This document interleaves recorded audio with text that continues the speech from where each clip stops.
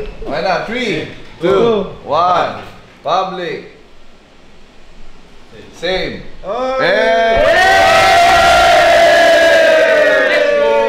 Like, comment, subscribe, share naman. oh. Uy, tama na nood dyan. Nakumay ka na dyan. Iba na pag naka-upload na eh. Ay, iba na ba? Mas na-addict ako tol. Tangina. Ang lupit mo. Maraming Congratulations sa atin tol.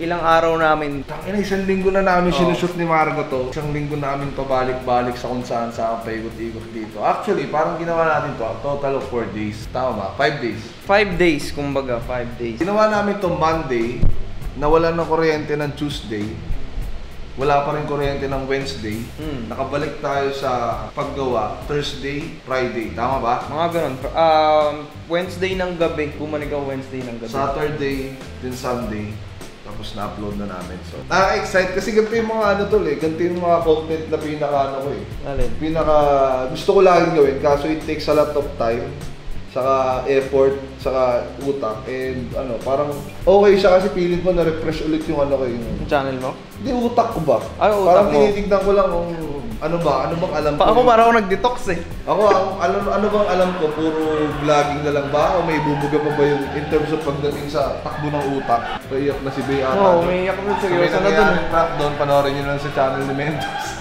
Pero ayun nga, na-refresh ako. Feeling ko, ano ulit ako, kumbaga mas na-inspire ako. Dahil naagawa ako ng ganito, mas na-inspire akong gumawa ng mga ganito pa sa susunod.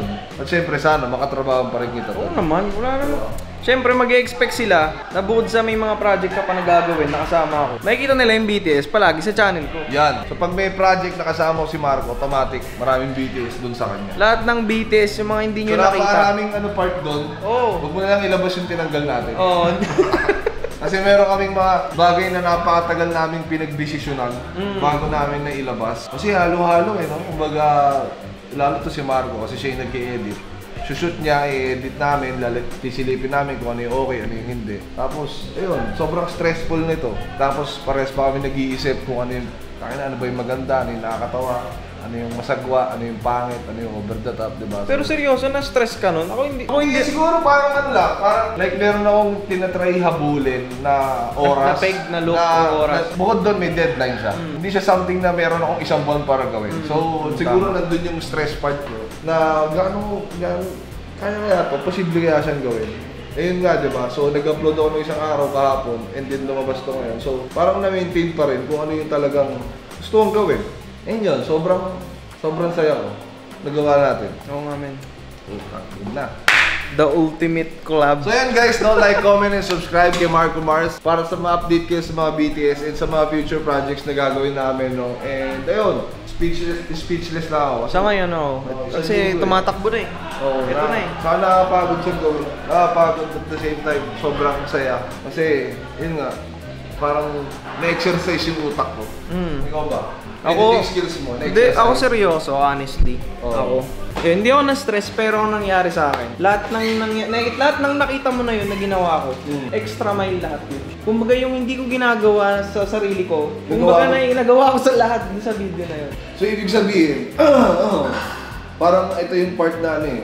Maganda yun kasi ako ang dami ko ding, kumbaga, in-extra mile na hindi ko na usually ginagawa. Mm. Kasi meron akong usual format na ginagawa na ngayon hindi ko na siya, hindi ko na alam kung kaya ko pa. And ngayon, napatunayan ko na posible pa magawa.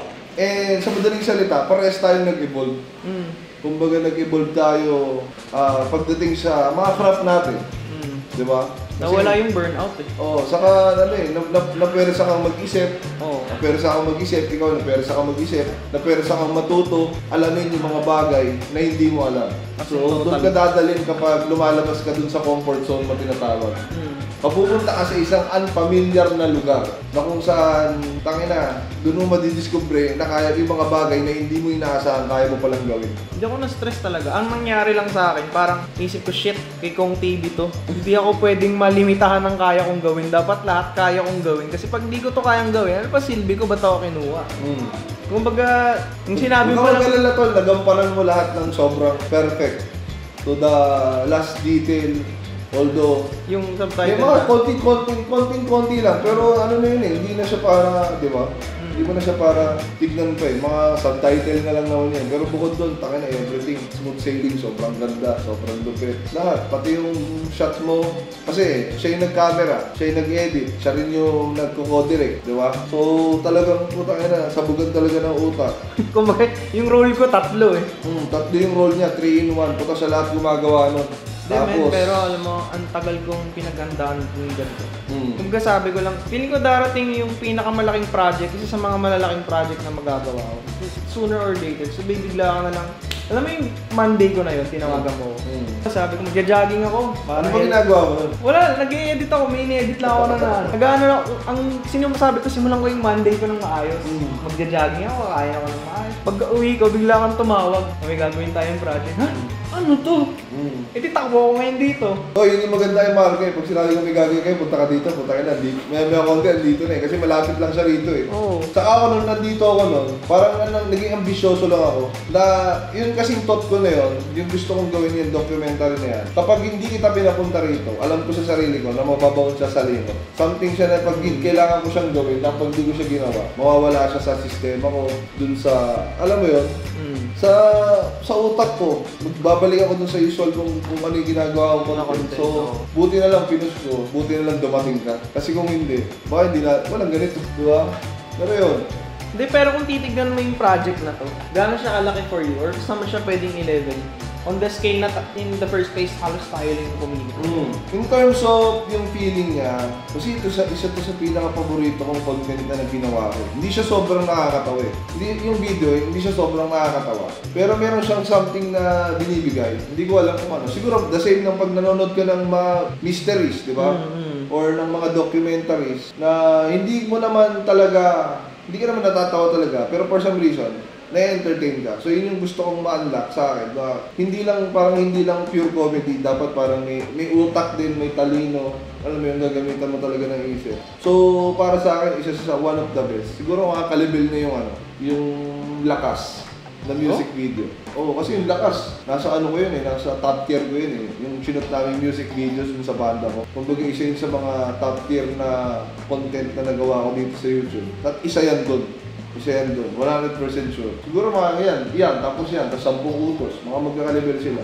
Although yung 10 utos, hindi naman siya sobrang, alam mo yun, hindi siya sobrang putang na tawag dito, yung in terms of cinematography niya, hindi naman siya sobrang ganda eh. Pero doon sa part na yun, solid yun. Kakapantay talaga sila. Ano yung nararamdaman mo ngayong Kasi sabi mo, may mga na-unlock ka na hindi mo ako, ang dami ko na-unlock. Na ano, tulad na.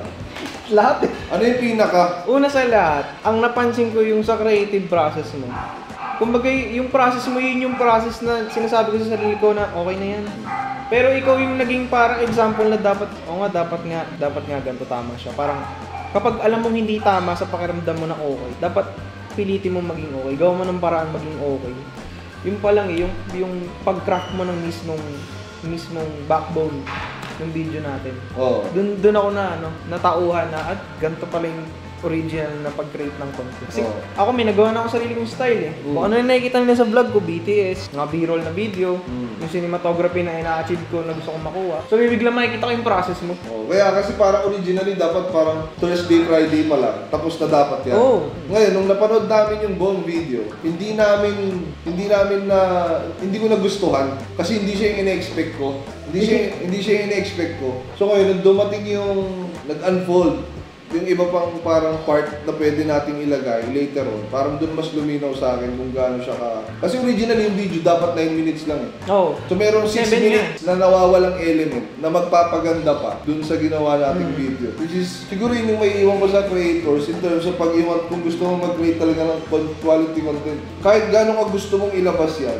hanggat meron kang mailalagay na something na, alam mo yun, makakapagpaganda kahit maliit na bagay, ilagay mo. Kasi imagine niyo ah, si Marco kanina, magre-render na, tapos na yung video. Ngayon mismo, itong oras na to ah, parang 3 years ago, tinawag ko pa siya, sabi ko, sabi ko, akyat ka, may scene akong papalitan, kasi yung scene na yun, hindi ko talaga gusto. Mm, So hanggat may pwede kang palitan na part, palitan mo. Hanggat di ka masaya, hanggat di ka contented. Yung alam mo yun, pagka-OC na lang ng pagiging isang creator siguro yun.